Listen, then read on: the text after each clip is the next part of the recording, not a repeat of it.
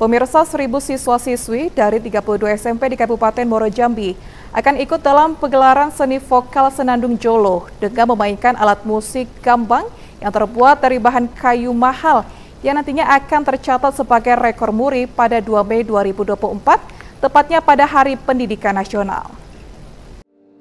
Inilah ratusan siswa-siswi SMP yang sedang latihan untuk mempersiapkan pegelaran seni vokal Senandung Jolo dengan menggunakan alat musik gambang.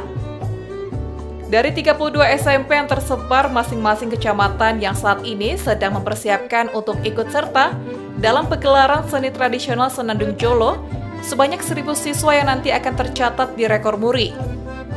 Untuk diketahui, Senandung Jolo ini merupakan seni sastra lisan yang berasal dari daerah Dusun Tanjung, Kecamatan Kumpe, Kabupaten Muaro Jambi. Senandung Jolo ini merupakan seni berpantun sambil menggunakan alat tradisional berupa gambang yang berbahan dari kayu mahal.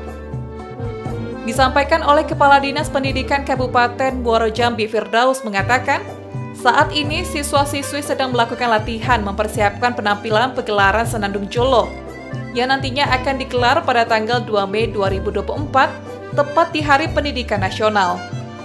Dari seribu siswa yang terlibat dari 32 SMP di Muaro Jambi, tentunya berbagai persiapan dilakukan mulai dari alat musik yang berbahan kayu mahal, serta latihan bersama masing-masing kecamatan.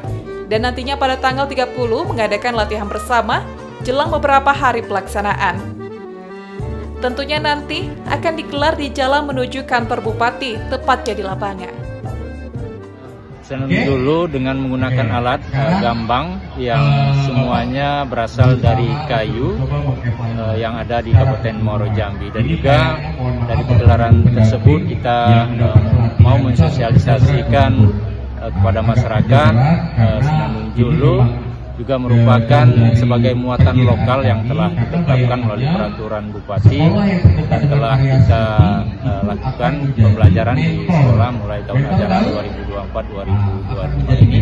dan juga kita ingin uh, melalui pegelaran Senandung Dulu ini untuk uh, mensosialisasikan kesadaran masyarakat bahayanya karhutlah karena dengan dampak karhutlah ini tentulah bahan dari uh, gambang untuk kesenangan dulu juga akan uh, ikut uh, punah atau terbakar.